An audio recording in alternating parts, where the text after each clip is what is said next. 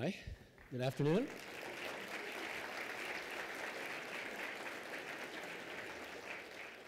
It's really a special pleasure for me today to be able to introduce Craig Mundie to all of you.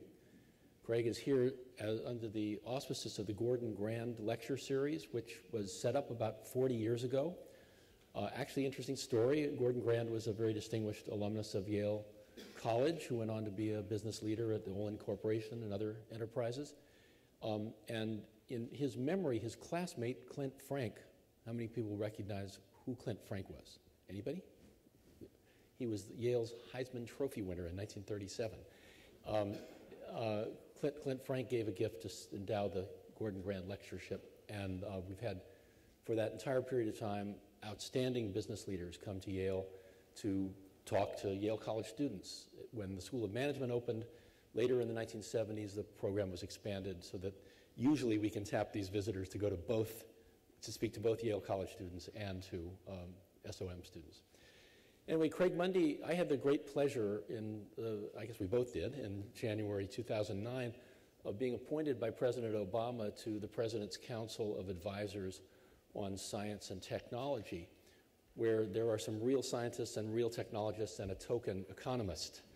And um, I, I, have, I have learned so much from Craig through his participation in, this, in, in those meetings. He's got an extraordinary grasp of the whole range of what technology can do for the human condition. I'll come back to that. Craig's history is that he spent a number of years after graduating from Georgia Tech in the computer industry in a variety of startup businesses uh, uh, and some bigger ones. Uh, and then in 1993, uh, he moved to uh, Microsoft, where he's been the last 20 years, and where his role has been quite extraordinary for many years. Um, uh, up till just recently, he was the chief strategy, chief research and strategy officer for this technological giant, uh, direct, directing the entirety of Microsoft's research organization and also uh, the, uh, the, chief strategist in technology and, and, and uh, how, you know, the, pro- the, approach the company should take towards the uh, development of new technologies. He also wore this simultaneously that the role of being uh, Microsoft's chief liaison to major to foreign governments when they were entering foreign markets, and to and and, and indeed in Washington uh, as technology policies were being considered there. He's a he's recently gone into a kind of phased retirement where he's going to be uh, where he's passed on the, the large management role that he had before, and now he's serving as senior advisor to Steve Ballmer. But here's a man who's been close to Bill Gates first, and then Steve Ballmer as the uh, in, over the last 20 years and has had a lot to do with the shaping of one of America's great companies. Um, Craig, uh, Craig has an, an, astonishing grasp of t- emerging technologies, and that's what he's going to talk about today. But, uh, and I'm sure he will want to welcome questions in any area that he talks about. But frankly, you can quiz him on just about anything, because any area of technology that where technology intersects policy or changes in you know human life, he's he knows something about it. It's quite remarkable.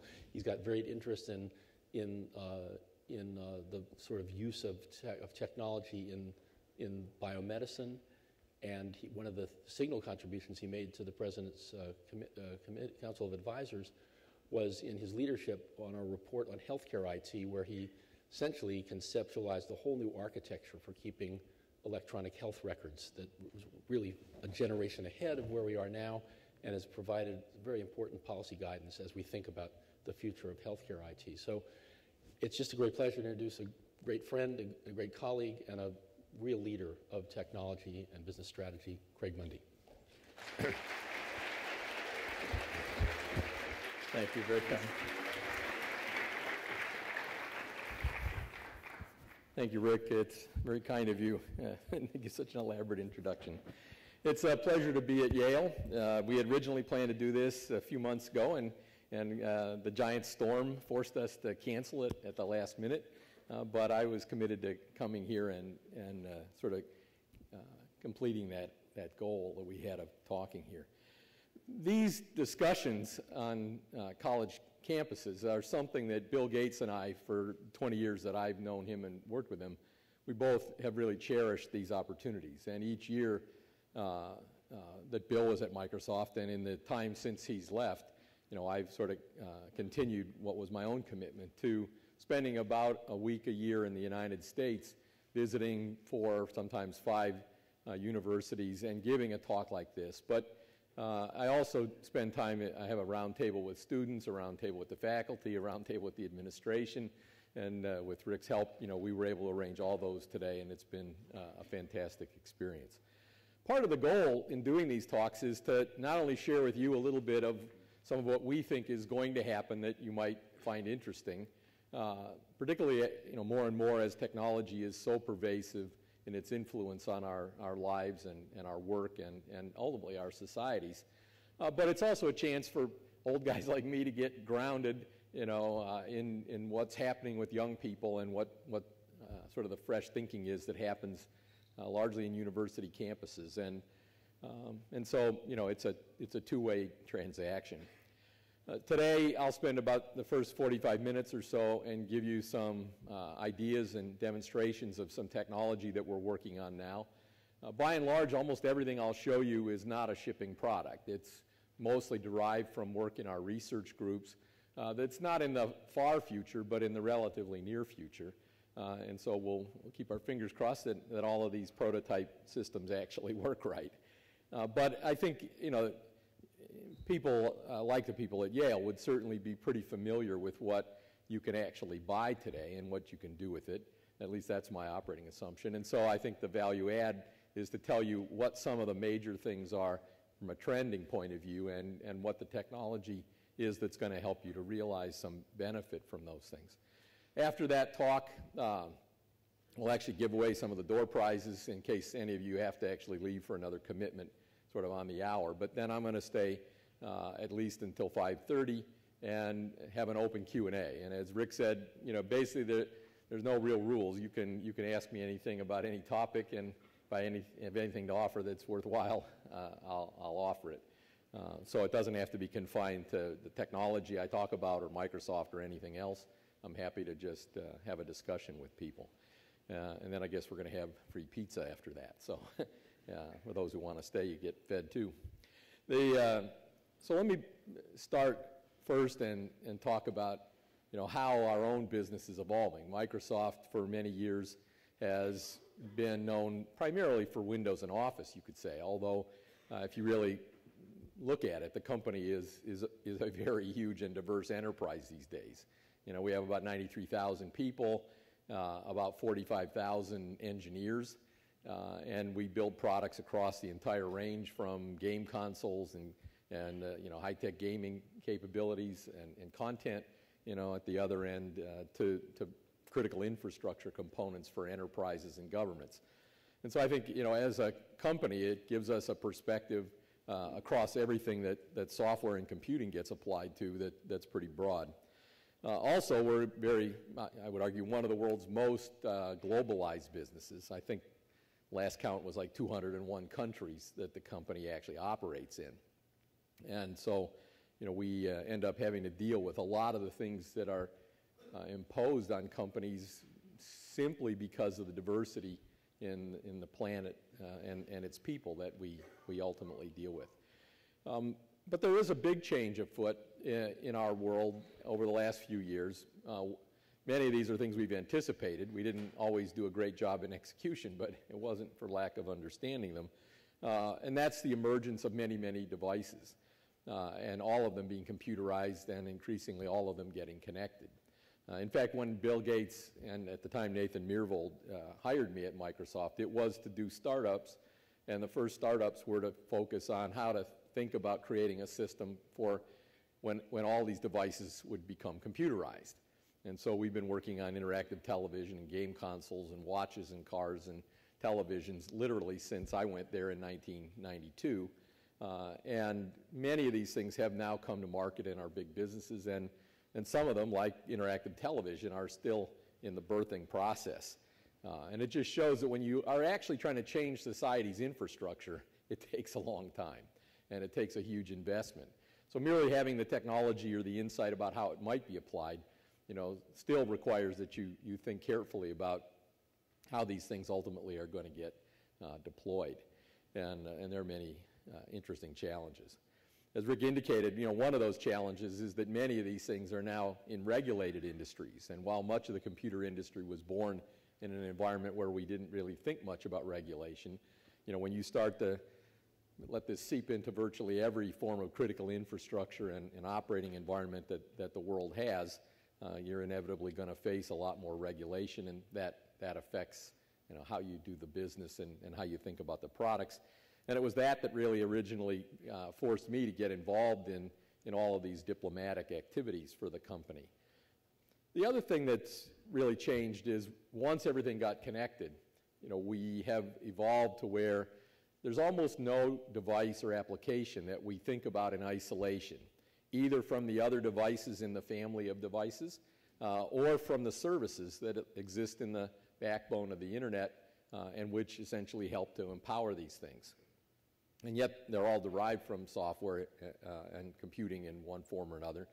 And so, you know, we're going through I think the sixth or seventh major evolution in 38 years of, of the way we think about our business, uh, to not think about it so much as just building software as uh, a, a, component that we ship to other people uh, and that you buy on a perpetual use license basis, but rather that we people uh, want to buy these things more from us as a as a uh, as a service, something that that we curate and operate, and that they can buy on a usage based model. And so we're changing a lot of how Microsoft not only builds its products, but even how we think about monetizing the software capabilities that we have in the future. Now, one of the things that has obviously been valuable uh, so far has been you know, the graphical user interface. And almost everybody today thinks of that as you know, the innate or, or, or, basic way in which they tend to operate computers. For a long time, you operated that with uh, pointing and clicking and typing as the way to do it. And, uh, you know, in the last six, seven years, it's really exploded uh, in terms of how people have sought to use touch and, and ultimately other forms of human sense-like capabilities as an alternative way to drive that graphical interface. Uh, but one of the things I'll talk about uh, uh, later in this, in this talk is a major focus at Microsoft, which has been around the idea of what we call natural user interface, or NUI, to replace or, or supplement GUI. And natural in the sense that we want it to emulate the way people uh, interact with other people. We'd really like the computer to be more like us, uh, and we'd like to to find a situation where through that, many more people can get much greater utility from computing capability than even that which has been achieved so far. You know, if you look today, there's arguably maybe about 2 billion of the 7 billion people who really benefit from computers. And so there's more who haven't yet had that, you know, benefit than who have already enjoyed it. And of course, it's this question of utilization and the skills necessary to to use computing that, that in many ways, along with cost, has been a limiter. Uh, but today, you know, the high volume of these things has continued to drive the cost down. And in fact, you can uh, go almost anywhere in the world, in the poorest places even, and you know, you'll start to find, uh, you know, televisions and cell phones. And I think that, you know, there's no reason to believe in the future that any any person anywhere in the world who can afford to buy a television or a cell phone won't, in the process, in the bargain, be buying a computer system and probably some type of, of uh, inherent connectivity. And with that, you know, we can really think about how computing then provides a much different range of benefits for, for all those people. So uh, touch has been an important change. You know, this last version of Windows that we developed uh, Windows 8 was one, really the first time where the company elevated touch-based operation to sort of a first-class citizen uh, status. And you know, we uh, brought with OEMs and by ourselves these Surface products uh, or, or Windows 8-based tablets to market. But we tend to believe that over time we're going to see uh, all sizes of these uh, types of, of touch-based displays and that they're going to find many applications beyond that which we historically have known. Uh, so I brought this, which is a, a new product from Microsoft, uh, which is basically, uh, I'll say it, the second largest tablet that we sell. Uh, this one's 55 inches, and actually we, we currently sell one that's 82 inches. And uh, in fact, it is exactly the same interface and, and you know, model of operation that you have on a, any standard Windows 8 tablet. And so, you know, we're, we're beginning to find that when you take this model, and everybody has sort of focused so much on mobility, you know, the cell phone and the, and the small tablet. And while that's important and powerful, you know, our belief is that, that largely through the cost reductions that have been driven by, uh, by television sales around the world, and ultimately even uh, the, the emergence of projectors, you know, like the one that drives that thing to well over 100 inches of, of display capability, uh, these things have just continued to plummet in price. And so, even without assuming there's any radical breakthroughs in technology, we find it completely plausible to believe that you, know, you should think that there'll be a continuum of screen sizes that will be ultimately touch and gesture enabled, and they'll range from the very small, probably as small as, as your watch perhaps, you know, up to the very large, uh, certainly which will be wall-sized in your office. So inside Microsoft, you know, we, we've actually started to deploy these things, you know, not completely broadly yet because we're still sort of driving the cost out of them. Uh, but those who have them, including our CEO, uh, find that having it in your office is sort of transformational in the way that you think about doing meetings uh, and, and how you interact with other people. You know, in a university environment, uh, certainly my experience was, you know, you, you, you sit and talk to a lot of people you're trying to work on a problem. It's almost hard to do it without either having a shared piece of paper or frequently a chalkboard or a whiteboard. And there's just something powerful about that ability to have this kind of shared experience. And, and we share that dream in a powerful way. And so by being able to put these things, you know, almost on any surface in the future, you know, you start to really think of how a computer mediated form of that type of interaction becomes possible. Uh, the other thing that's happening is as computers just get increasingly potent, uh, we start to think about doing applications in radically different ways. So I'm going to show you one of my sort of personal favorites. I, I personally sponsored the beginning of this work in our sort of research and incubation area, uh, I guess six or seven years ago. And it, it's now actually ships as a product called Fresh Paint. I don't know if any of you have seen this, but you know, if you uh, look at it, I mean, th- these are you know things that you can now you know buy uh, as little sort of like paint books for, like you buy for your kids. Let me just first show you a little bit about what's interesting about this. You say, oh, hey, I've seen paint, you know, on my computer. Uh, but you've never really seen paint probably like this, because what this thing actually is, is a full-on physics simulation of painting. And so uh, the paper, including its texture, it has a 3D, you know, uh, model of the, of the paper. Uh, the, the different art mediums, in this case oil paint, uh, crayons, and, and, uh, and pencil, you know, are actually all modeled physically. And the interaction, including of, of the brushes, which are kind of indicated here, including the movement of the bristles and the twisting of them, and are all done with physics simulations. And so in this case, you know, uh, you know, if I pick any color uh, and and any brush and change, you know, the line width or whatever it is, then, you know, what I've got is uh, an ability to, to, you know, just paint with my finger or with a brush. So you have a capacitive brush with the real bristles. And so more and more there's this direct coupling between sort of the virtual world and the physical world, and we're able to model more and more of it. And you say, well, that's nice dummy, but that's the wrong color for Yale, and we don't make the A that way. And uh, so I say, okay, well, you know, what else can we do to help me since I'm not a very good artist? So I can say, well, in here, somebody actually uh, helped me out, and they took a, a Yale logo and stuck it in here. And, you know, it has, uh, we'll say we're going to use this nice fat brush because I'll be in a hurry. And uh, I'll show you one other thing. This is now this is simulating blue oil paint. Now, when this thing was done, this started and assumed the outline was actually in black. And oil paint dries slowly. And so if I actually start to paint in this thing, uh, you'll see as I go across the lines, the blue paint mixes with the black paint because it wasn't dry. And, but if I say, well, I didn't really want that, I'm in a hurry. The nice thing about digital oil paint is I have this little fan, and if I turn the fan on, it dries instantly.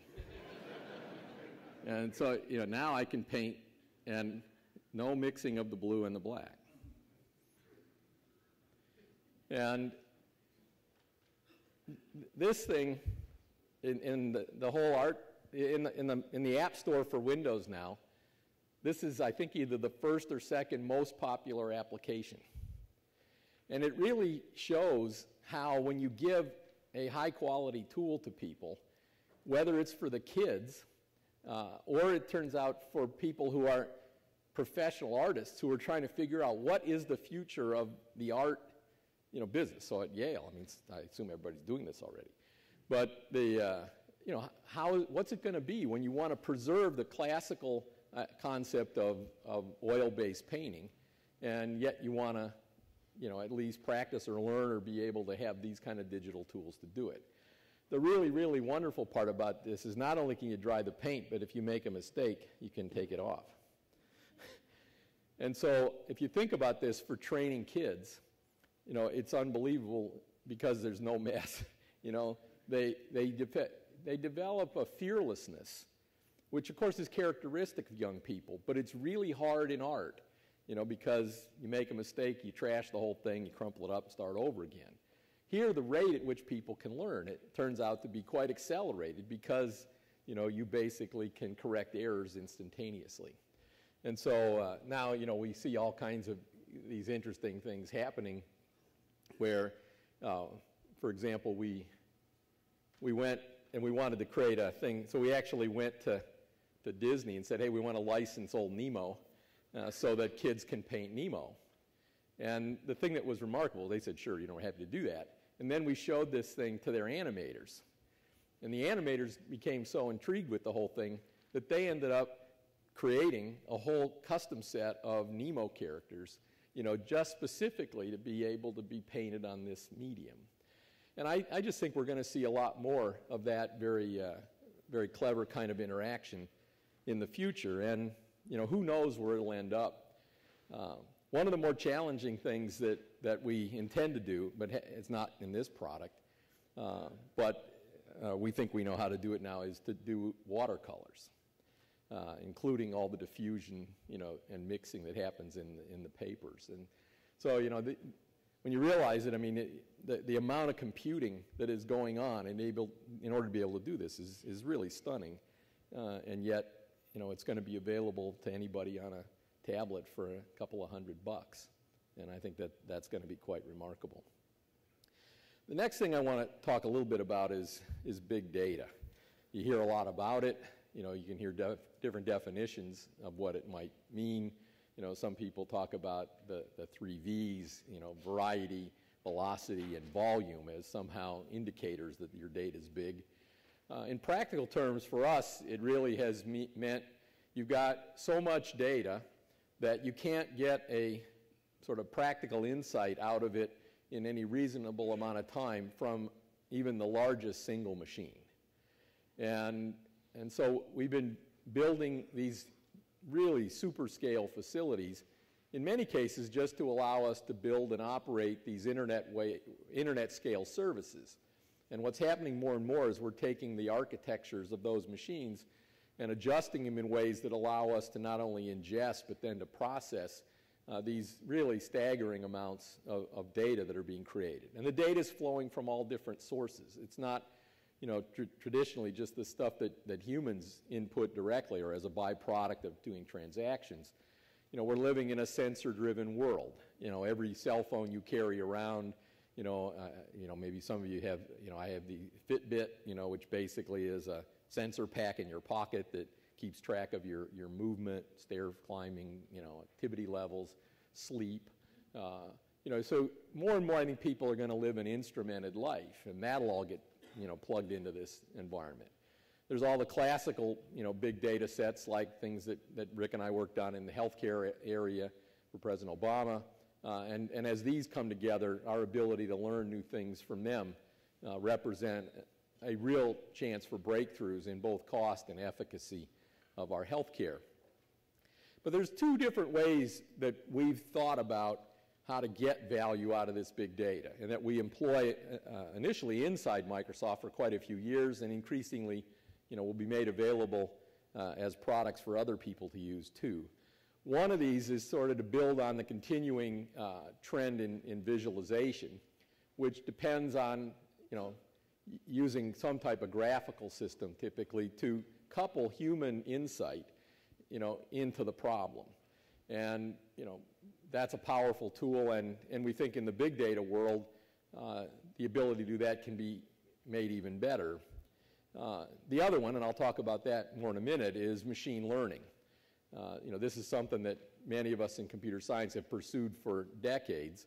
Uh, but I think in the last few years, we've really made some breakthroughs, in part because of the scale of the machines that we have to operate on. and ironically, in part because of the volume of the data sets that we have to operate on with those big machines.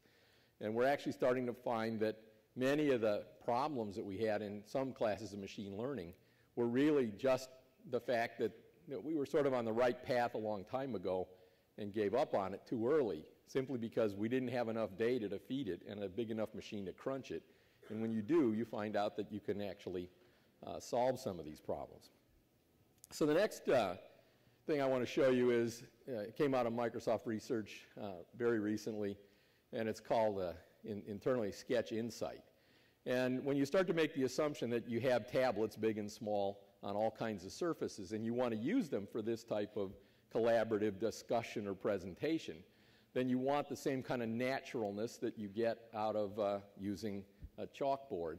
But again, you know, why shouldn't you get more help from the computer? So here, this one uses, you know, this has a pen. So unlike just a, a normal touch thing that many people use, these systems are quite different in that they also support a very high resolution pen. And so, you know, it really is like having, uh, you know, a, a, a, pen or pencil that you can write on these things with. It's not, you know, finger width drawing. Um, and so this one we've loaded a few different uh, data sets in, and the one I'm going to demonstrate has some population dynamics in terms of the global population. Now, so it's been taught a few gestures. So the first gesture, uh, hopefully, is this one. And as soon as it recognizes it, it sort of straightens it out and says, okay, what that is, he wants to have a graph. And make it a little easier, I'll, I'll stretch this out for now and uh, move it over.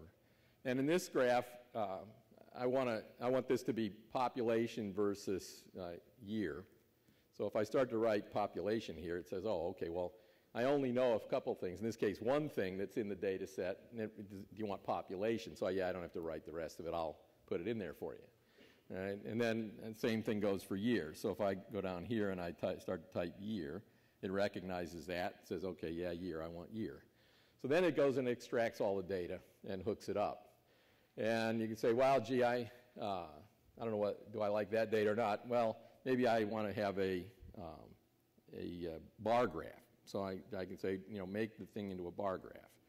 So it'll redo that. Uh, I can say, no, I really think I'd rather have a line graph. So I'll just say, you know, maybe I can make a line graph out of it. And I say, I, I don't want all those individual points. What I want is sum. So it sums them all up. And what I really want to know is not just the, the global population, which from 1960 to 2010 went from 3 billion to 7 billion. I want to know what it looks like by continent. So yeah, it knows about continent. So it splits it all out and puts it in continent form. And, but then, you know, it, do other interesting things. So I'll shrink this back here a little bit. And says, okay, I also know how to make other graphs. So how about a pie chart, uh, which is by year versus uh, population. And now it turns out that these all get linked. So these turn out to become controls for the data on this side. So, you know, if I turn off the red one, it turns off 1960. And if I turn it on. So now I've got it, suddenly made myself an interactive tool, you know, that allows me to explore uh, different parts. Now it knows how to make, you know, other graphs too, and so it has this inverted gesture. Uh,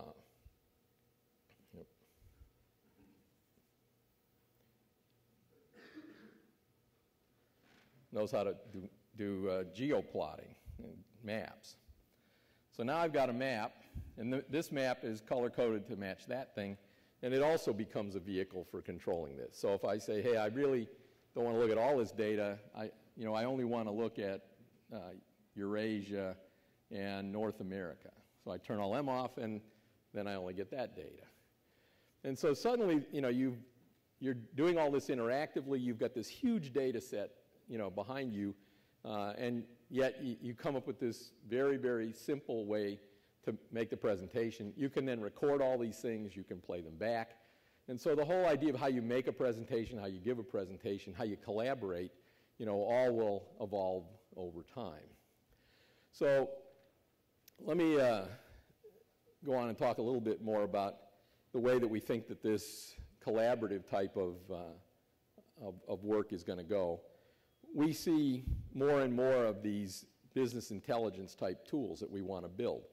And while this you know, gave you some assistance in trying to um, control the sort of the drawing and the, and the linking of these, these elements, you know, we also wanted to try to build more powerful tools that allowed you to sort of see into super complex data in ways that uh, would be really hard to do otherwise. So the next one I'm going to show you is a thing called SandDance, uh, as a code name inside Microsoft Research. And what this is, is it's pretty much, you know, the entire U.S. Census data. And, you know, turns out it's, you know, pretty much easily stored in a single computer now. Uh, and, and it turns out if you just said, well, you know, there's, okay, there's the census data, it doesn't really make any sense, you know, as, as just a big blob uh, of all kinds of data. So now you can start to say, well, I want to assign different, you know, like colors to different things. So here's all the different things that we extracted from uh, the census. In this case, what I'm going to do is I want, to, I want to color code income, you know, from low to high, green to red. So now it goes through this thing and it starts to color code each of these census data things. This is census data at the, I think, the county level. And, you know, you can at least now start to see, if you look carefully, you know, at, at sort of what the general uh, income distribution is. But, you know, you can't really tell, well, where is it? But the thing has different modes. So if I actually say, what, you know, what I want you to do now is go look for latitude, longitude data and, and plot the thing against lat and long. So now this isn't actually a map that got filled in. It's just the counties plotted with their latitude and longitude. And of course, what does it make? It makes a thing that looks like the United States because it's all the counties of the United States. Now, you know, you can sort of also see, you know, where the population densities are, and you can see that, that basically as you get, you know, into the major cities in the, you know, wherever they are in the country, on the coasts, in the middle, you know, that, that goes from red, you know, to, to the middle range. And you get up here, you know, into New York and New Haven and a few other places, Seattle, San Francisco, Los Angeles, a few in the Midwest, Chicago. You start to see a few sprinkled places get all the way up to green there where the highest incomes are. And then you can do all kinds of interesting things. You can say, you know, let, let's start to examine some of these things. So instead of lat long, let's, uh, let's plot education levels uh, somewhere, education, on this axis. And let's plot uh, income levels on this axis, and they're still color coded. Uh, and the, let's see, what, I'm sorry, education, and I wanted unemployment was what I wanted. That's different. So now what you see is, you know, sort of education uh, in the county as in terms of average amount of education versus the unemployment rates. And so you begin to ask interesting questions. So now you can ask questions by just graphically saying, I'm going to put a box around these three because they're sort of outliers in terms of how high the unemployment is and very low. And I can say, well, who are those? And it turns out that those three things are Apache County in Arizona, uh, Apache County in Arizona, different one, and Coca- Coconino County in Arizona. So basically, three of the Indian reservations in the United States happen to have the lowest average income, I mean, education, and the highest average unemployment uh, in the whole country. You know, there, there's uh, uh, other, you can go at the other end of the spectrum and basically pick this one and say, okay, what's that guy? And you'll all be happy to know that's Stanford. uh, the, and so what's interesting is in Stanford County, uh, they have a lot of education, but uh, their unemployment level is pretty low. But they also don't have a green dot for income. So, uh, in any case, you know, there's things that you could discover in this data by just crawling around in it and organizing it and sorting it in these ways that, that you might never know. You know, if I, if I went back and looked at, you know, that particular data in the geographic, you know, sure enough, it shows up over here at Stanford. Now, another thing that we think is happening a lot, and if you were here before we started and watched one of the videos, the,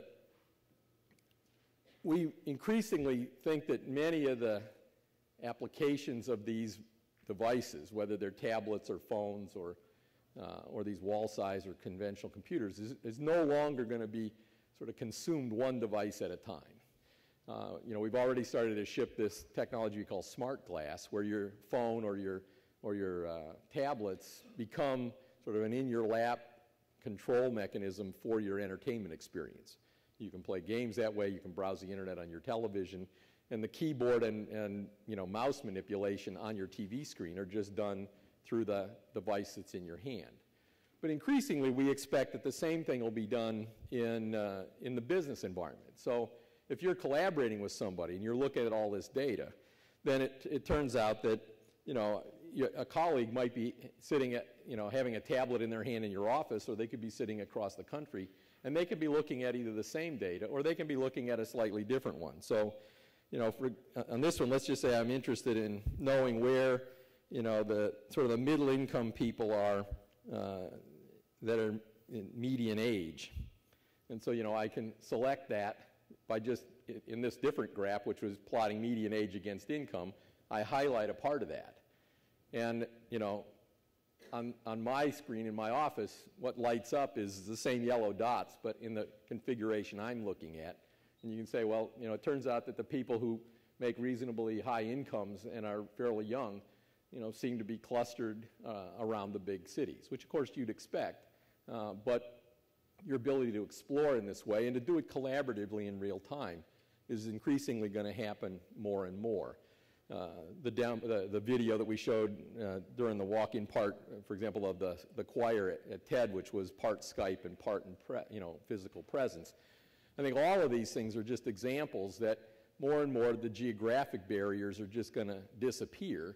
And whether you're physically in the same place or in different places, that the uh, idea of, of real-time collaboration, communication, even entertainment, you know, will increasingly come uh, to be commonplace.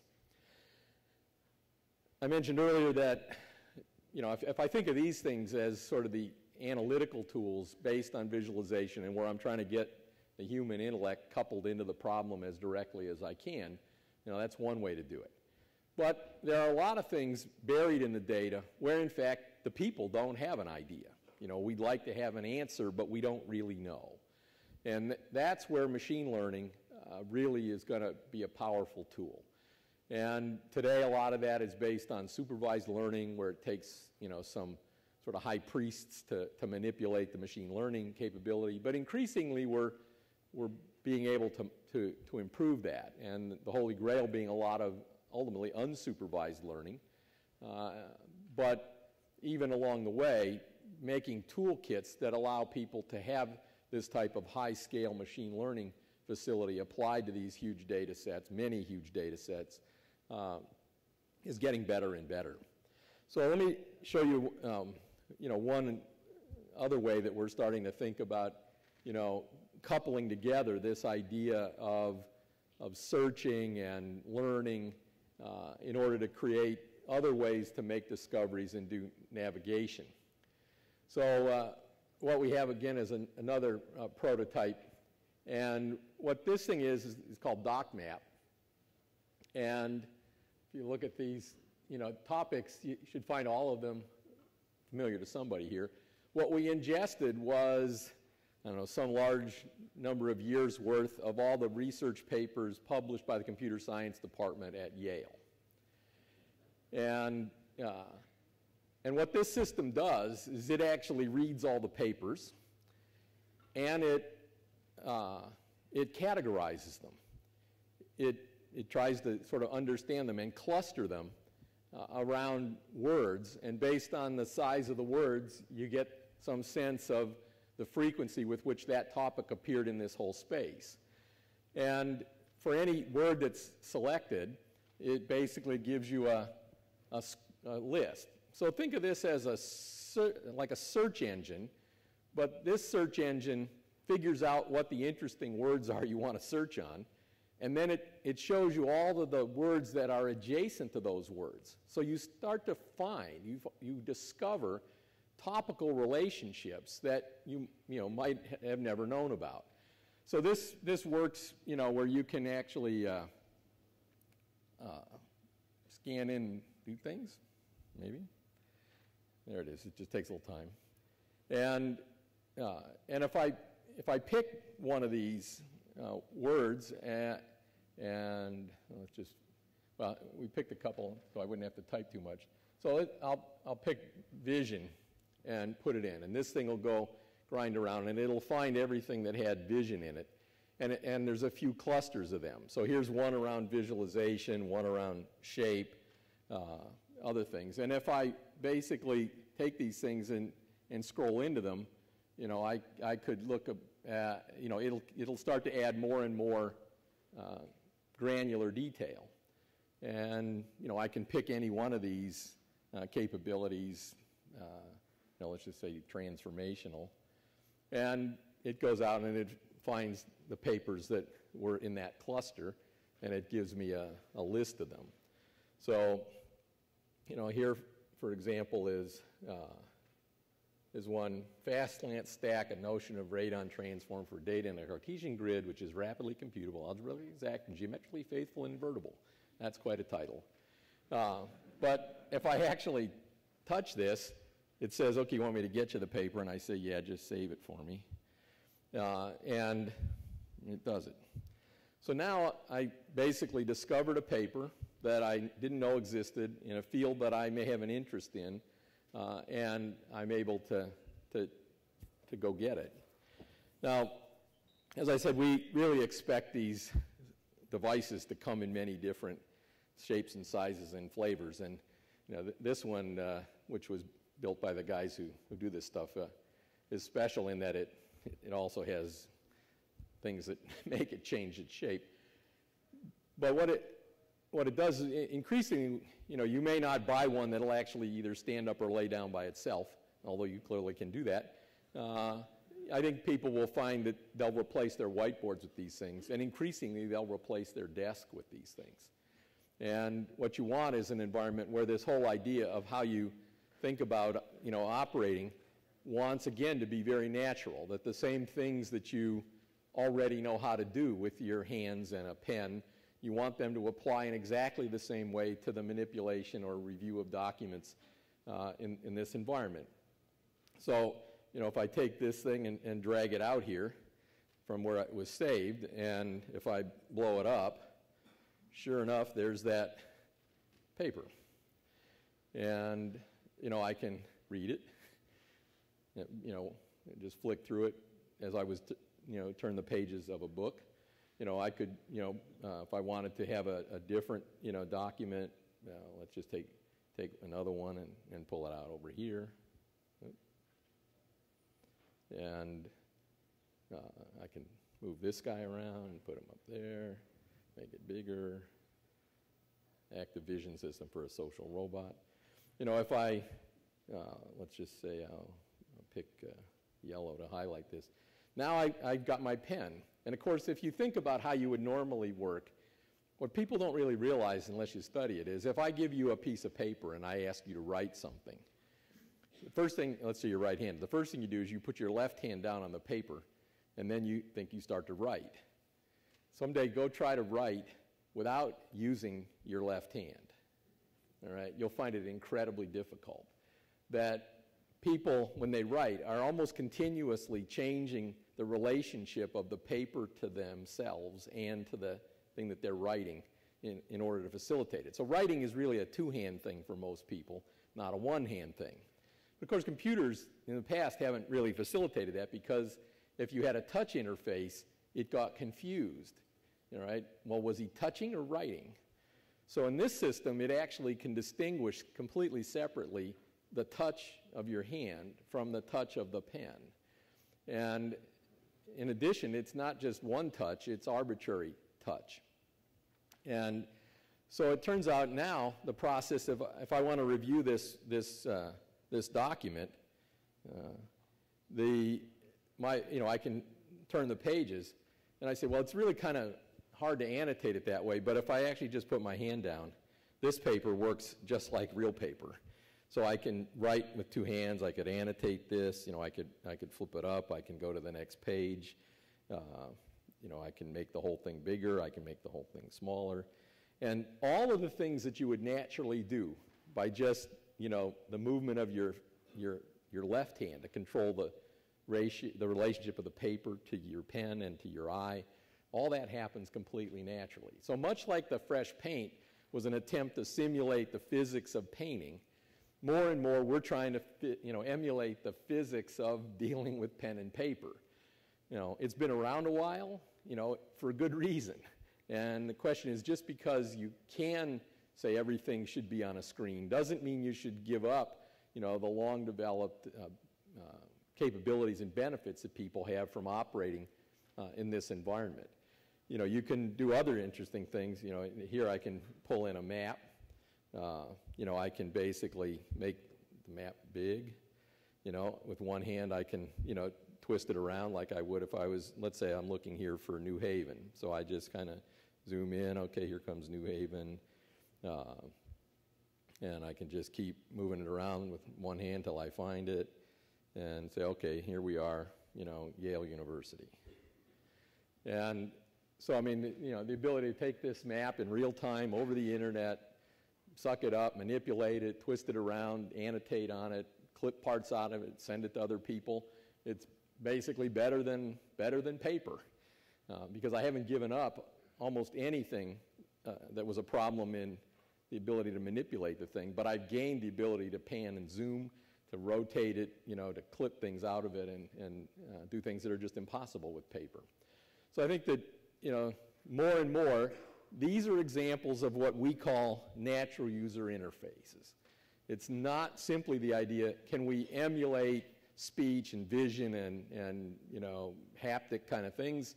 It's can you then use those to build new models of interaction for applications that make it just completely natural for people to use these computer systems. So we're very excited about that. And while the classical graphical interface isn't going to disappear, I think it's, we're kind of in a stage now which has, you know, I'll say frequently occurred when technology shifts happen. Uh, you know, people remind me, I'm old, but I'm not quite this old, uh, that when the mo motion picture camera was invented, the first thing they did with it was they filmed plays. And it was actually only years later that they realized that, you know, that they didn't have to film the whole play at once. They could actually film chunks of it and then splice the films together. And so what we know today is the major motion picture wasn't at all what anybody had in mind when they created the movie camera. And, and I think we're kind of in that stage now in this transition between graphical interfaces you know, and the movement to natural interaction. That when you get to this point, you really want to stand back and ask yourself the question, you know, how do I just get the computer to help me more? And I always tell people, like, one of my goals for the work at Microsoft is I say, okay, how, how should a farmer in rural India, you know, be able to use this machine learning, you know, capability? You know, he should be able to pick up his phone and, and say, what day should I fertilize? And the thing comes back and says, Thursday. All right? And so, I mean, in essence, he asked a question that is exactly what he would have asked to a human colleague that he, who knew the context, was an expert in the domain, you know, and knew everything about, you know, what the guy was already doing. And that's the power of this big data machine learning combination is it allows us to essentially continually learn about context. You know, for those of you that have people that work with you, whether they're assistants, you know, personal assistants, people work in your lab with you, you realize those people get more value to you the longer you work with them, for the most part. Uh, and, and the reason is they have context. And right now, your computers, by and large, are not getting more valuable the longer you work with them because it isn't essentially uh, aggregating the context that it has. But with computers so intimately involved in you know, our work, our play, you know, uh, you know, our shopping, virtually everything that we do, uh, the amount of context that the system is capable of, of inhaling and, and managing is really stunning. That brings with it a whole set of new challenges, both on the policy uh, and regulatory front as well as the technology front. For example, in, in the privacy space, uh, when Rick and I worked on the Health IT report, it actually, one part was the invention of the mechanism that would solve the problem of combining it, the data. And the happy thing was that it also turned out to be a mechanism that uh, gave you a, a way to have the technology manage the usage-based access to the data hence an attempt to solve the privacy problem. And I think you know, this is one of the great challenges for the computer science and computer business community these days, is to try to figure out how do you design these systems such that the value of the big data isn't forced to be lost simply because people are paranoid about certain bad things could happen. Many more good things can happen. We just have to be sure that we can reel in the bad ones ex post facto. And I think it's completely clear that we have the technical means to do that. It's just that people haven't been uh, sort of forced or, or, uh, or made uh, uh, incentivized to go build those things yet. But I think that'll come. So let me move on, you know, beyond this type of, I'll say, analytics and discovery where the human is driving, a little bit more to the kind of things that we're doing where the machine is driving uh, the discovery process. And, uh, you know, if you look at this slide, it's just six examples I selected where Microsoft, inside the company, for as long as, I know, as far back as at least eight years I can, I can remember, uh, has been using machine learning in order to build sort of surprising capabilities into products. Uh, speech recognition, uh, you know, in phones and other devices uh, for quite a long time. Uh, TrueSkill. Many people in the room probably have at some point played an Xbox game. And if you play multi-party versions, particularly over the network, and you go to the game lobby, you know, to, to find somebody to play with, it turns out one of the challenges we discovered very early on is when you have so many people, if you use just random assignment of players, you get a very unappetizing experience for both, for all the people. Because the odds that you have people that are you know, reasonably well matched is not that high. Uh, because you know the, the quality of, of your gameplay can vary in so many dimensions that there's no simple metric you know that says hey you know is this guy a good match for that guy and so we started to use machine learning to, to figure out out of this huge uh, you know, multidimensional space, which things produced satisfying competition. You know, otherwise it's sort of like putting a pro against an amateur. The amateur says, well, why do I even try? And the pro says, why am I wasting my time playing this idiot? And, you know, and you don't want that. So you really want all these competitions to be pretty much even up, and that, that system does that. The whole search and ad business is all built on machine learning, you know, knowing what ad to deliver, when to deliver it, how to, how to scan the web, what to, you know, keep and what not to keep, uh, you know, is a machine learning problem. Uh, one of the things that we actually just shipped that's been a dream for many of us for a long time is the intelligent inbox. Uh, in Office 365, we've just started to turn on this capability.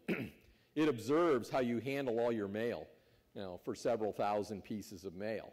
And, and based on what it learns, it begins to automatically uh, manage your inbox for you. It, it, clusters things together, it moves things it, it thinks you would assume are higher priority up. Uh, and it even gets to the point where it can start to make recommended dis- disposition of those documents. Like it'll, you know, you sit down and the thing sees you and says, oh, okay, you know, I, I looked at your mail and all these I think you're going to delete. Should I? all right. And you just say yes and they all go away. And, uh, these it says, you know, these I know you're going to respond to, uh, and I, I've drafted some, you know, basic responses for you. Uh, you want to send them. And so more and more, you know, the computer just starts to say, it, when it can pattern match and say, I, I know that this person's important and this one less, you know, it starts to help you figure that out. The whole concept of gesture recognition in Kinect was all based on machine learning. And uh, in Bing Maps, traffic prediction. You know, if you go and ask for a route, it says, do you want to know that, you know, now what the traffic is? Telling people, here's the route only based on the traffic that we currently have is not all that interesting. Uh, what's a lot more interesting is to predict, you know, over the time it takes them to drive the route, what will the traffic be at those points? So by basically taking on all the historical factors and all the exogenous things like weather and ball games and, and everything else, and then monitoring accident reports, the thing can actually figure out a forecast of, you know, what, what congestion will be like at every point in the route before you drive it, and then it'll adjust the route dynamically. One of the great things that's been uh, holy grail for us at Microsoft and many people in the, in the computer science and research community for years has been the quest to do real-time speech-to-speech uh, translation. And at Microsoft, one of the ways that, that we try to aggregate our research results uh, into solving larger scale sort of composite real world problems is to, is to give ourselves these kind of objectives. And so about two years ago, Rick Rashid, who's shown uh, in, the, in the next slide, uh, I think it comes up, is uh, he's the guy who founded and, and actually runs Microsoft Research day by day. He said, hey, you know, uh, by the end of 2012, I want to go to China, give a speech, and, and I want to be able to speak in my normal voice in English uh, and I, I, want the loudspeaker system to, you know, to project Chinese in essentially real time in my own voice. And uh, so we actually did that. Uh, we think that's sort of a real milestone achievement in the field. And it, it, was all based on some real breakthroughs in the last few years in what's called deep neural networks and the use of these very high scale machines and very large data sets uh, to be able to train machines uh, to be able to do this. So I'm going to show you a one minute clip that was from that speech in China last fall. Uh, but you get an idea. What, what you'll see happening, and I'll explain it now so you can watch it, is he talks, it translates his speech uh, into English text. It converts the English text to Chinese text. It does a, a text to speech synthesis in Chinese, all right, and then it plays that through a vocoder model that we developed from his voice. So it's actually his vocal tract that, so just like Fresh Paint was a simulation of painting, this is a simulation of his, the physics of his vocal tract, you know, and we use that so that the things, it's a language he doesn't speak, but it's his voice in another language. So we'll play that for one minute. I'm speaking in English, and hopefully you'll hear me speak in Chinese in my own voice.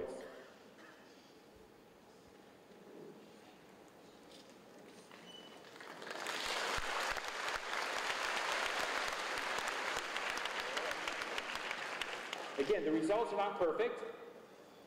There are, in fact, quite a few errors. 结果并不完美。他们提出反复反错误， There's much work to be done in this area. 在这方面有很多工作要做。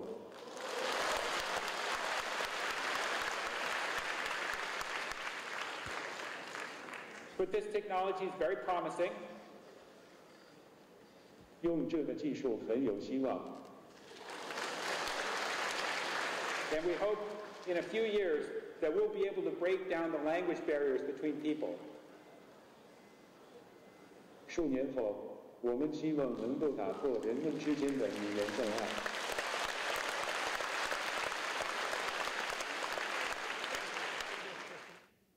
So, what do you think?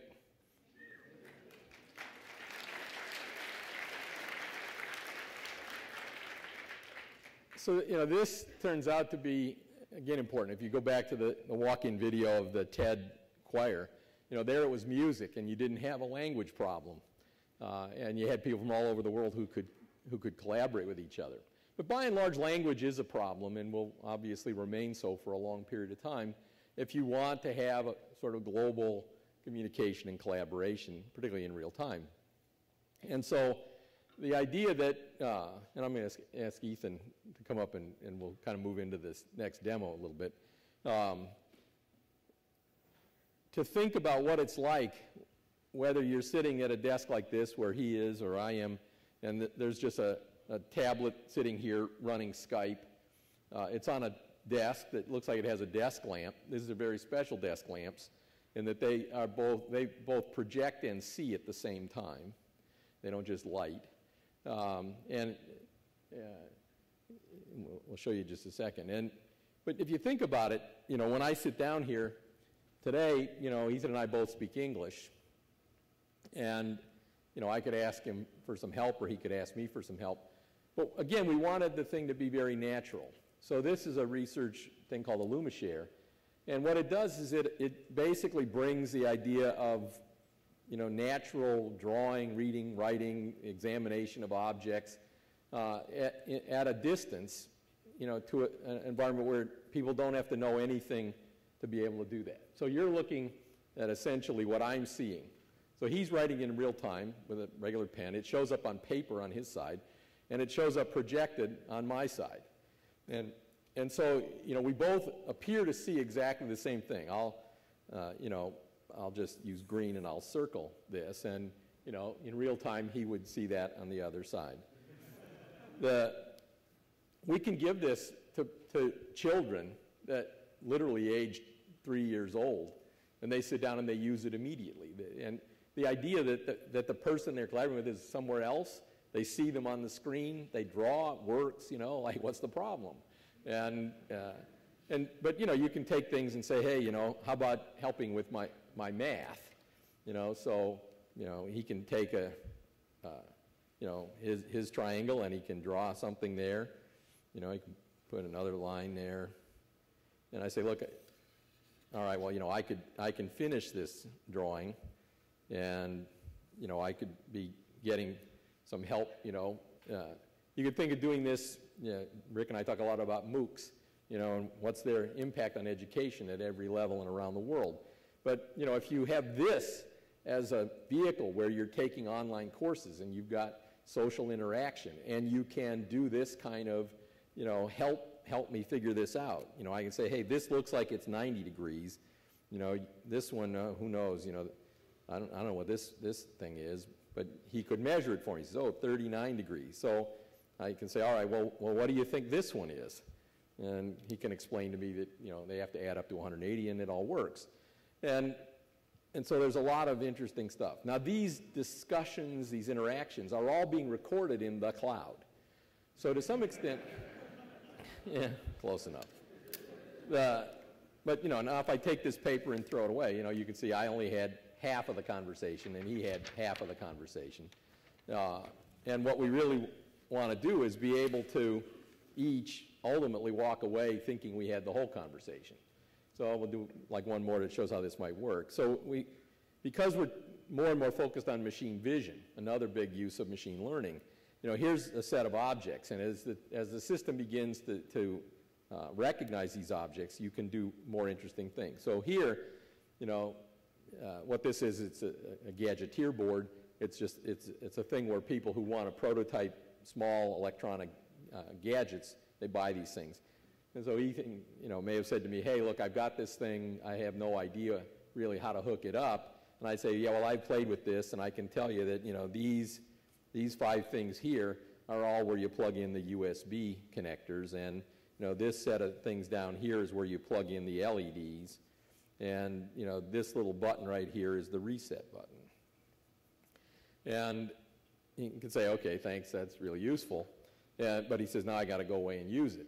So if I walk away and crumple this thing up, uh, and he walks away, you know, the next time he comes and sits down at a system, the thing basically can look at the physical object, you know, hopefully will recognize that it's seen it before, and basically brings back, you know, the annotations, and it'll register them no matter where he puts it and, you know, how he moves it around. And so basically it is as if he had the whole conversation, even though part of it was virtual and part of it was physical. Thanks, Ethan. Thanks. And uh, so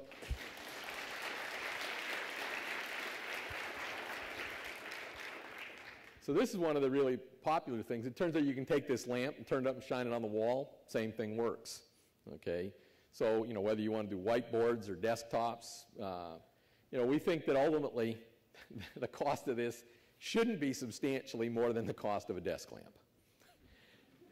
Uh, and because you know if you look at how small we can make cameras and you know how cheap LED lighting is and uh, you know these little projectors are, that's all we assemble this out of, and then a bunch of clever software algorithms and interfacing technology, because it turns out, you know, what you have to do is interleave the frames. So you, one frame you project, and then you blank, and then you look.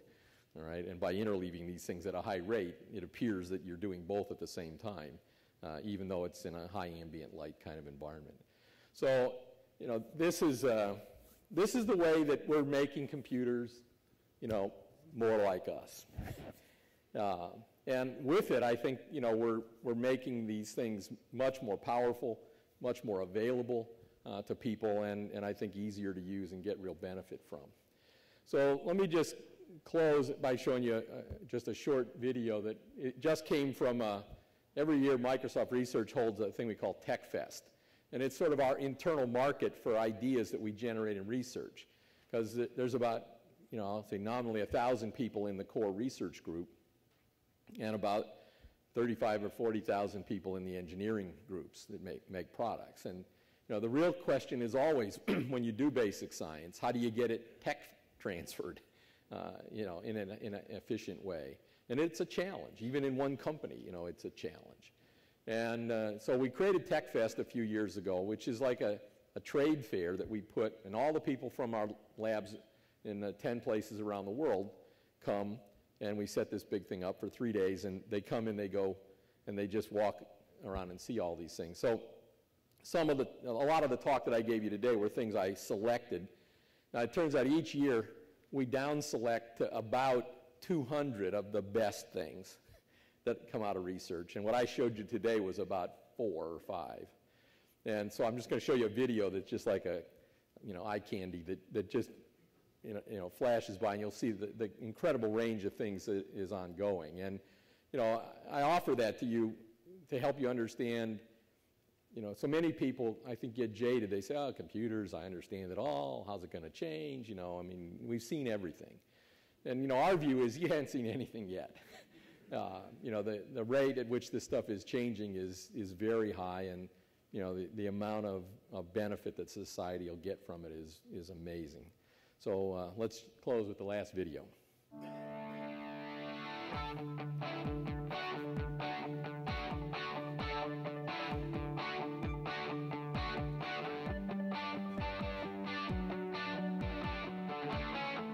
One I showed you here.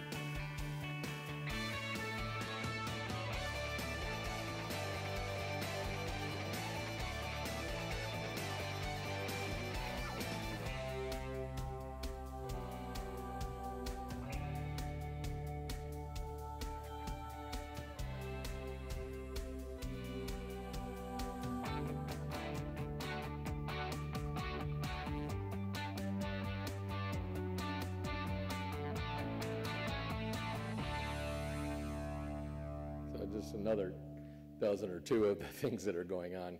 Uh, it, it's an incredible uh, privilege to be able to be affiliated with this group and this company.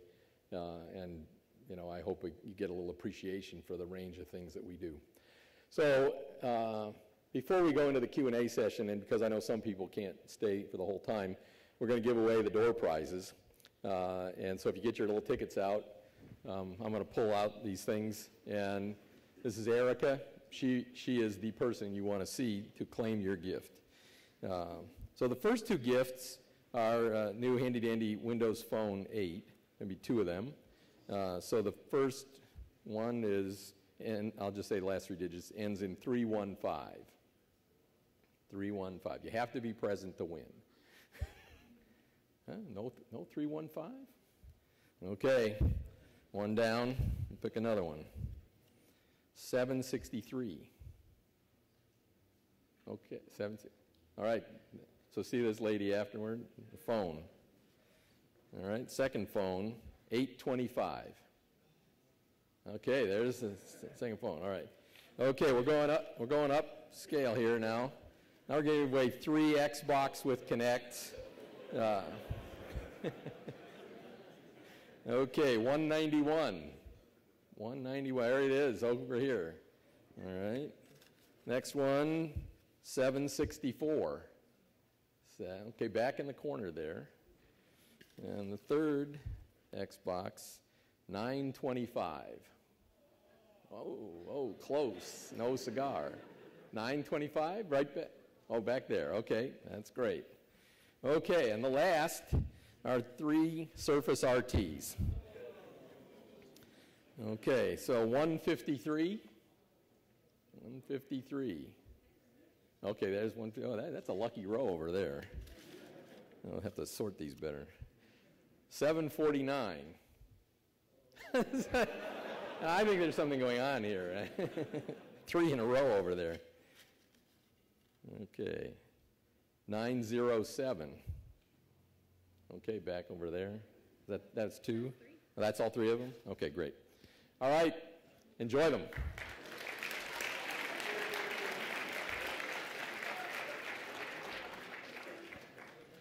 Okay, so if you have to leave or you're welcome to go, don't go bad. And if you want to stay, we'll do Q&A for another uh, 20 minutes or so.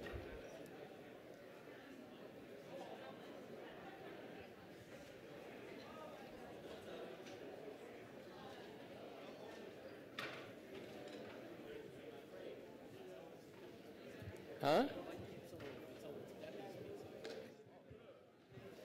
Rick says I should tell you that it's Pepe's Pizza that's uh, being served at the end, so I guess that's significant. Yeah, okay.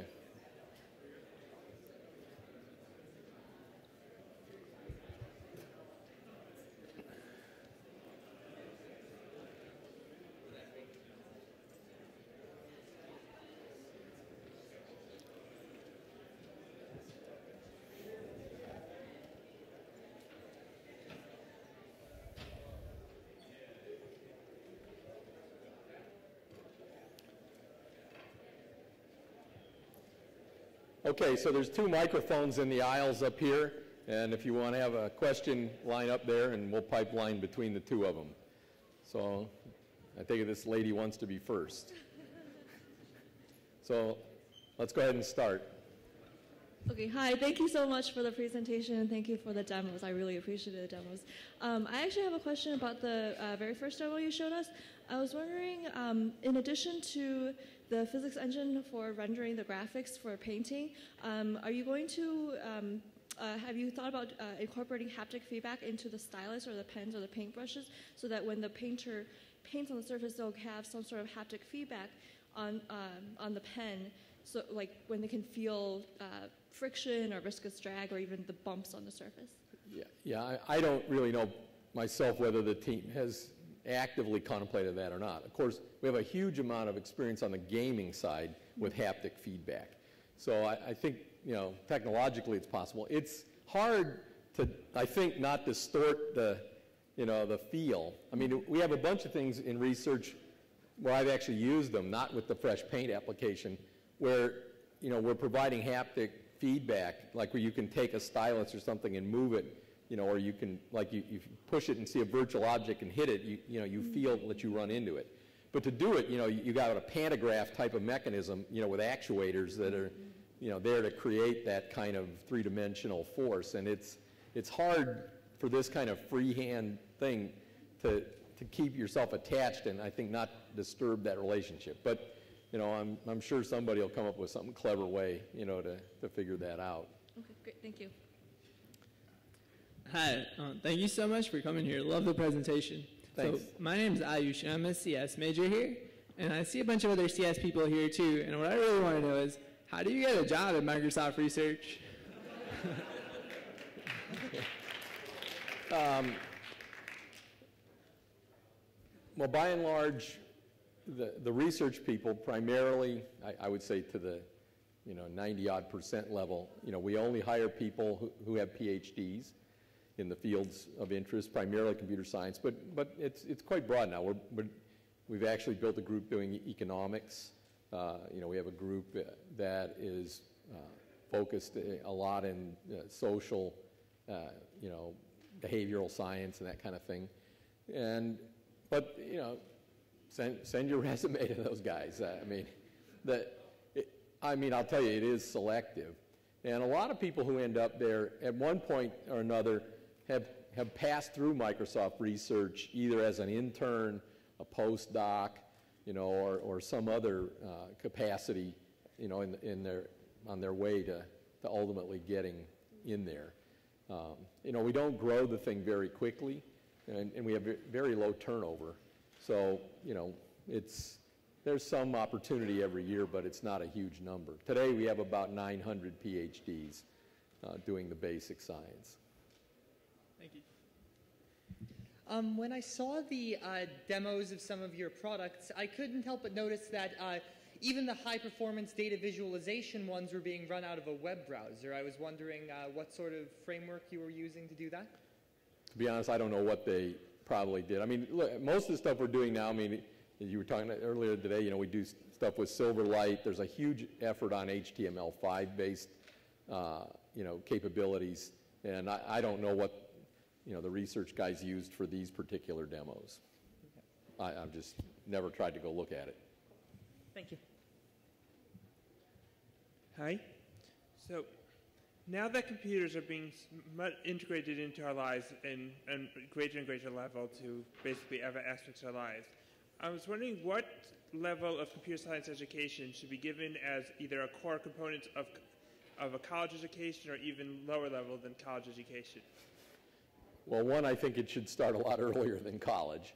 Uh, I actually was talking at dinner last night to, to Rick's wife, Jane, and uh, we actually were having this conversation because I was basically saying that you know my view was that that this idea this idea of what we call computational thinking is it's not computer science, it's not programming, but it's basically understanding you know how you think about problem solving using computational methods. It's something that uh, a woman at Microsoft Research now named Jeannette Wing has been advocating, particularly when she was at the National Science Foundation. And I do think that from an early age, we need to start to basically get people uh, exposed, at least in the abstract, to computational thinking. And, and if you understand that, then it's easier to, to sort of branch out based on how aggressive you want to be in terms of either understanding implementation, learning programming. But more and more, the, um, the number of things you can do without writing a line of code is unbelievable. Uh, one thing, maybe some of you already seen it, it's, it's in the current shipping version of Excel. you know, the spreadsheets were fantastic, you know, because they gave people who didn't have to write a line of code a direct ability to, to translate what they wanted to do in that sort of spreadsheet computational model, you know, and using only things they understood, like writing math formulas, you know, the ability to make very powerful analyses. But there are a lot of things that we do, particularly in this big data world, where you can't express those things in any check the box, you know, script or, or, or menu like thing. So what we just shipped in, in, uh, in the new version of Excel is a, a feature called Flash Fill. And what Flash Fill does is it actually does real-time program synthesis. So you teach it what you want it to do to data by showing a few examples of the transformations. And each time you give it an example, it resynthesizes a program that will do that to all your data. And, and, and, and it runs it in real time. And then you look at it, and if there's something wrong, you take the one that wasn't right you change that example, resynthesizes it again.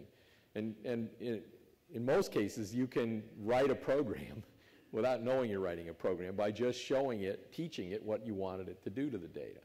And I think that more and more, for the vast majority of people, they won't, they will get very satisfying results from their computer without ever having the idea that they had to write a program.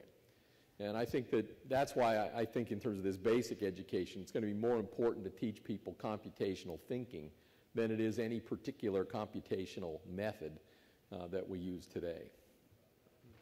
Well, just a very quick statement. I would think those of us in computer science hope that what we're teaching is the computational thinking and the programming language is just an added bonus. Doesn't seem to be true, to be completely candid uh, just, uh, you know, from, at least from my vantage point, and Jeannette, you know, who spent a lot of time thinking about this stuff, you know, I don't, I don't think we're getting there even in the computer science departments, and we're certainly not doing it for young kids.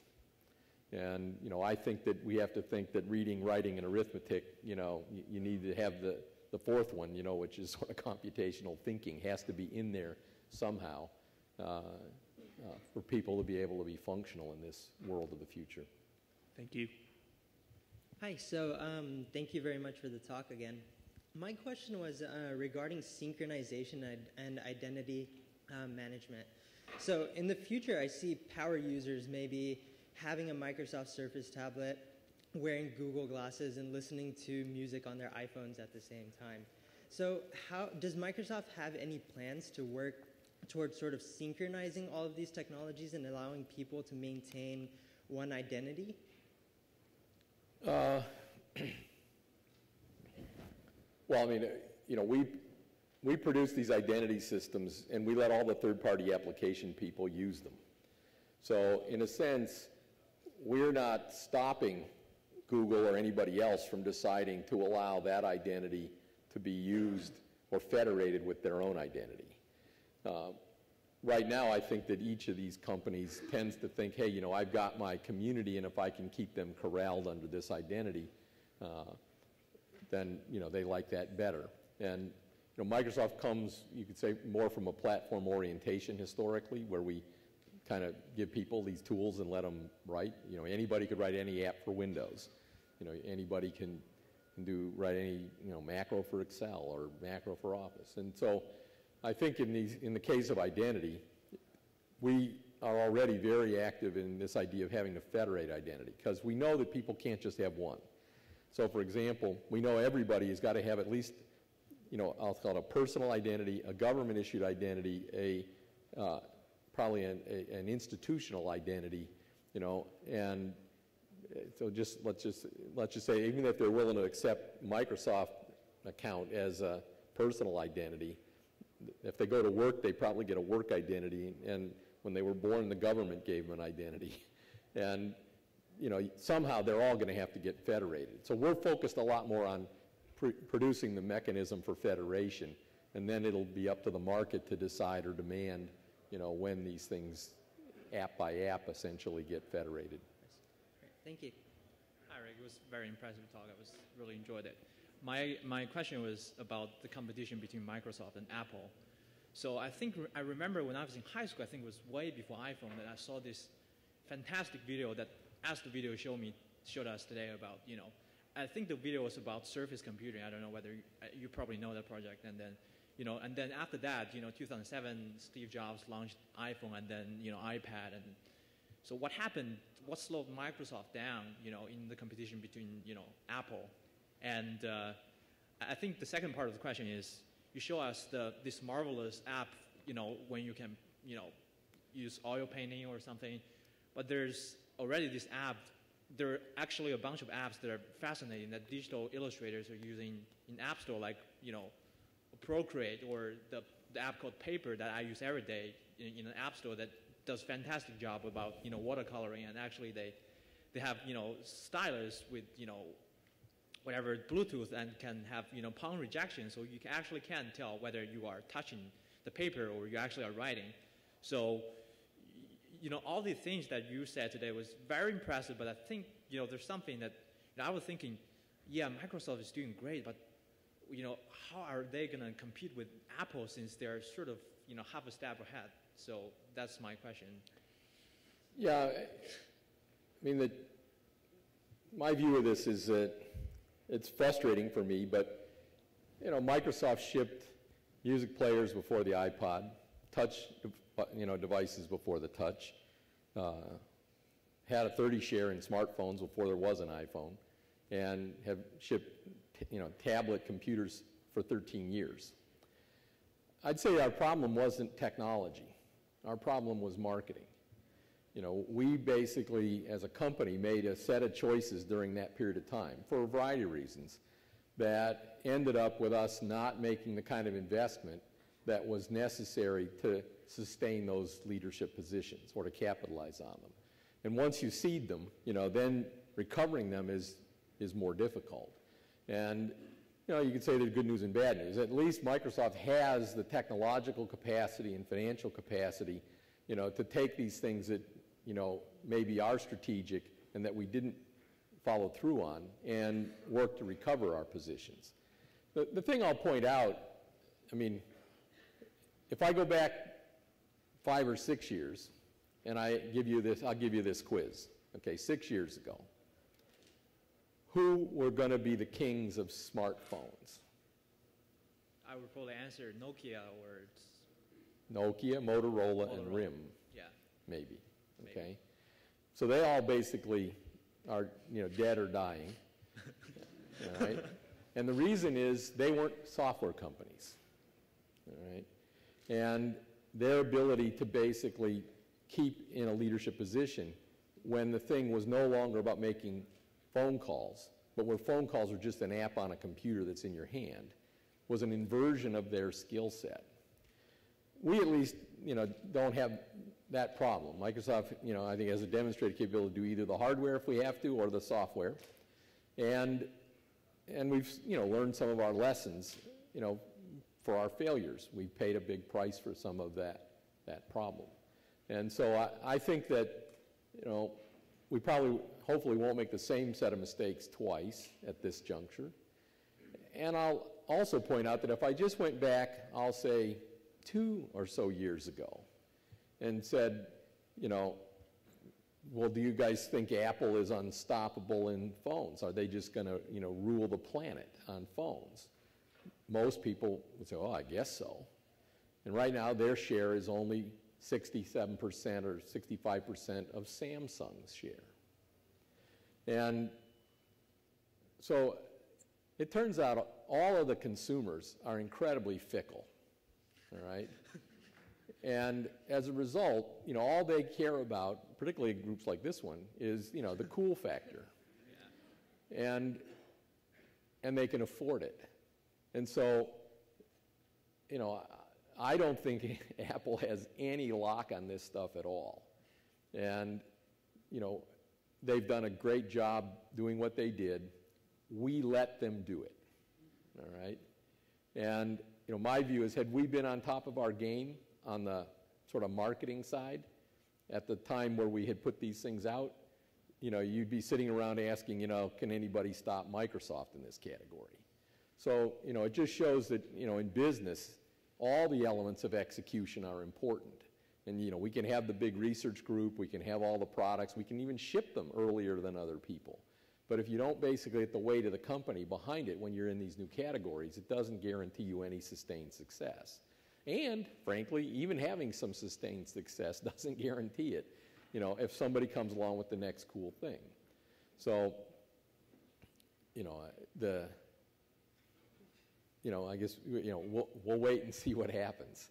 Uh, you know, it was kind of, um, it's kind of funny. I mean, when we shipped the Surface, you know, Apple kept saying, you know, in a, in a joking way, you know, why would anybody want one of these things, you know, that, it, that seems to be this, this hybrid, you know, and we said, well, why would anybody think they had to carry two devices, you know? So the marketplace will ultimately tell us, you know, who was right and who was wrong. But I can tell you that I go to a lot of places today where people are walking around with iPads and Macs and saying, you know, why can't, I, like Rick was asking, he says, well, you know, I really want Office on the iPad, but I have to carry my Mac, okay? And, you know, I just think that, that, that people ultimately resonate with the stuff that helps them get their jobs done. And when you have breakthroughs in some of these areas, the momentum shift is very, very quickly. You know, and I think you know people. You even see that reflect a little bit in how the market values Apple. You know, down from 700 to 400 and change.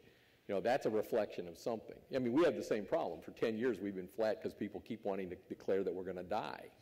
Okay, we're the third most valuable company in the country. All right, you know, we make more money than than these other guys do in profit. And so, you know, the, the, the market is a weird, weird animal. But, uh, you know, I think we're doing some interesting stuff, and we'll see how the market reacts. Thank you so much, and good luck with the next Thunder. Thanks. Um, hi. So, firstly, I also just wanted to say thank you, and I was really impressed with, especially the visualization demos. Um, I have like three questions. Should Try them one at a time. okay. Um, so the first was related to what the previous guy just asked. Um, while you were demonstrating the painting app, like the first thing that popped into my mind was I've seen this before, like seven years ago, because um, I do like digital arts, so I've seen a lot of this. So um, I guess my question for that is, um, there's definitely going to be a lot of you, you've actually seen something seven years ago that actually did the physics simulation yeah. of the oil paint. Yeah. Where was um, that? Corel. That didn't do that. They, maybe not seven, but like several years ago. Okay.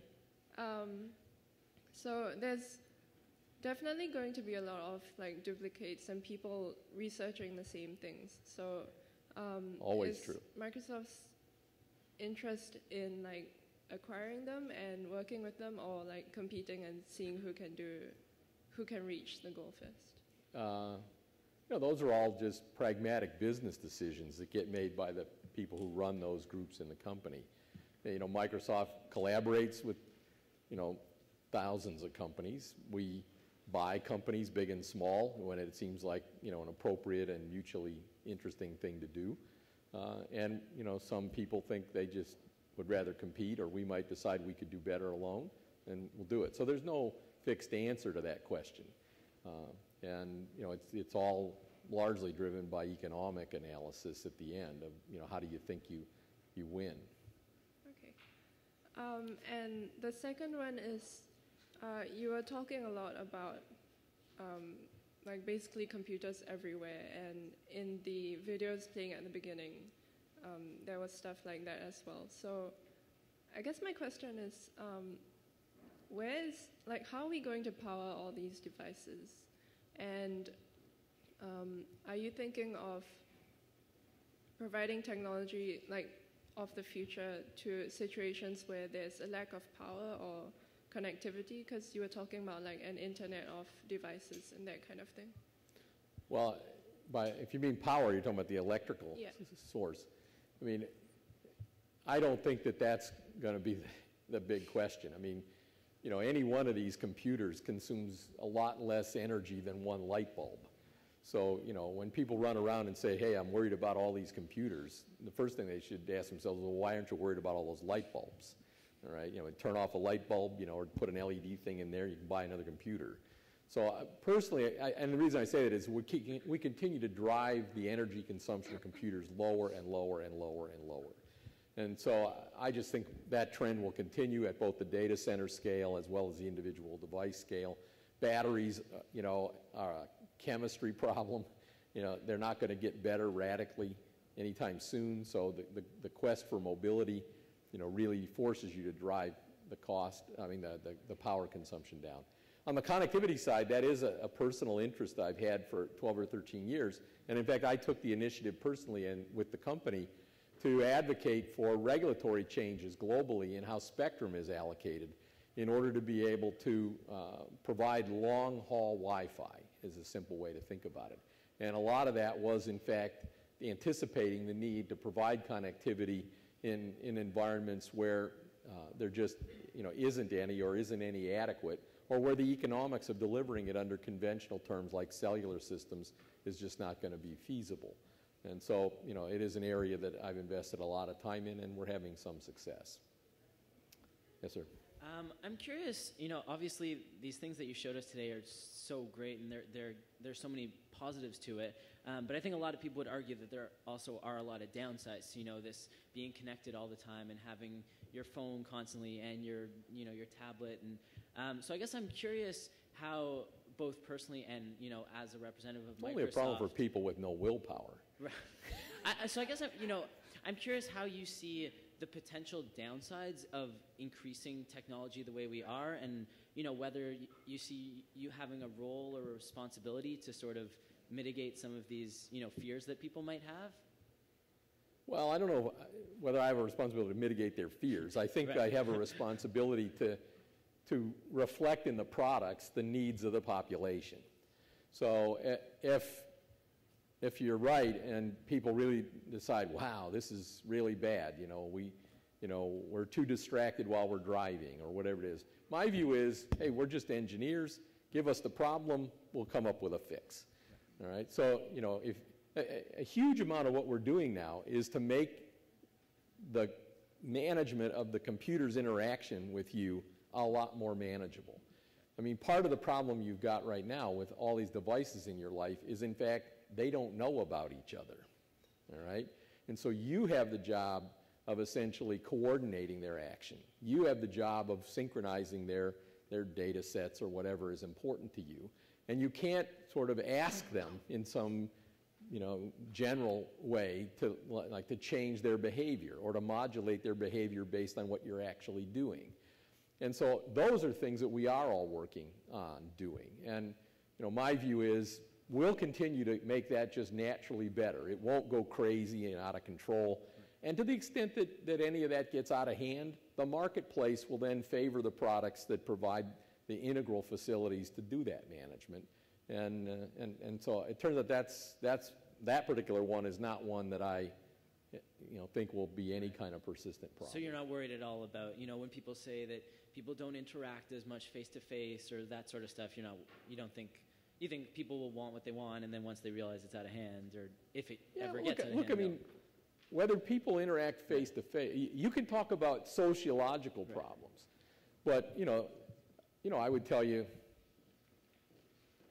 that the isolation created by people staring at televisions was a much bigger problem than, quote, the isolation. It isn't really isolation at all. That, that people are now spending too much time interacting with other people. They're just doing it in a computer mediated way. Which was worse? You know, my view is hey, you're a lot better off. You're at least communicating with another human. You know, it may be in some new way, but you're not like, you know, a couch potato sitting there watching your TV screen. So I, I personally tend to think that, that these things are actually trending in a positive direction And, and yes, we're going to get different sociological behaviors as, as we adjust to that. But you know, I think it's completely natural, and, and I have a lot of confidence in the human species and its ability to adjust to these things. Thank you. Hi, thanks for the talk. It was really interesting. Um, I had kind of a general question, uh, kind of about the open source and freeware technology that's kind of out there right now. Um, so in the past, obviously, all this stuff was really accessible only by a very small segment of like a rare, rarefied set of very complex, you know, advanced users. But kind of the, the bar to use some of these freeware technologies has, has gone down a lot in recent years to the point where, you know, now Linux distributions are pretty available uh, and some people are using those instead of Windows. We have um, a lot of people prefer R or Python programming languages to like MATLAB or Stata and people are using like OpenOffice instead of Office. So it seems like, to me at least, that there's kind of becoming a split between uh, the advanced community, which is using a lot of this sort of uh, open source freeware, and kind of the basic community. So I had kind of two quick questions on that. One was, do you feel like that is sort of uh, putting a pressure on Microsoft to be designing more towards like sort of the more common users rather than uh, the advanced power users? And also in general, what your thoughts are on the open source movement and uh, sort of the, the power of the global developer base to create compelling technologies for free? Well, I, one initial reaction I have is I can probably introduce you a lot of people who don't, who, who use proprietary products who would not choose to refer to themselves as basic. So I mean, you know, you got the, you have this sort of elitist characterization of oh, there's us guys who can use that stuff, and everybody else is lesser people. I think that's a bad characterization for starters. Uh, that said, I mean, you know, the idea that there's free software is not new. I mean, you know, it's goes. I mean, when I started my company in 1983, we built an operating system on the Berkeley distribution of Unix at the time. And, and so there's really nothing new. It's happening at a larger scale, and you could say it's accelerated simply because of the degree of connectivity that the world you know, has available to it now. And with that, you, you, know, you can get these collaborative efforts that can take on some fairly significant problems and make them available. And, you know, I think that, that's all good. I view the whole thing as, as sort of symbiotic. Um, it turned out if a company like Microsoft tilted what it did uh, to say, you know, we're, we're just going to build products that would be better for that elite group of users than whatever they can get out of the open source community at any given minute in time, We'd go broke because there aren't really enough of them. You know, in a world where we have to serve, you know, a billion or two people a year to put, you know, food on the table, uh, you know, there just aren't enough people, you know, if you're selling only that class of products to, to an elite audience. So we like to believe that, if, you know, that, that we can provide technology for people who are elite users and who choose to operate in the framework that we provide. But, you know, we're very realistic about that. You know, the new Azure cloud facility at Microsoft, one of the things that we've put up on top of that is Hadoop. You know, so we did the work to host it in that environment so that people who wanted to be able to rent that capability in the context where it worked with other Microsoft related products, which you couldn't get if you ran it yourself or put it in Amazon AWS, you know, made it a lot easier. So, you know, there are many reasons that people may choose to do that, and many practical reasons where Microsoft may take things that that community wants and, and sort of host it in our own environment. Uh, you know, the, the real, I'll say, challenge between the commercial world and the, and the, and the free software community, it, the tension really came with the focus uh, uh, on the GPL, you know, 12 years ago. Uh, because Stallman's goal when he created that license was, in fact, to neuter the idea that there was any commercial software. And, you know, and, and so that really made it a lot more di difficult because it, not only did it tend to prohibit people who wanted to take it and build a commercial derivative from doing so directly, but it took any commercial company who, who basically was doing anything else, it prohibited them in practice from taking the stuff because the license required in combination that you give up all your rights to your own product. And so, you know, I think that that, that one thing and the, and the areas it was applied to, you know, made the tension higher than it had been for decades. And because, you know, that particular operating system was popular, you know, it, it you know, it's, it, it's an area where the tension persists.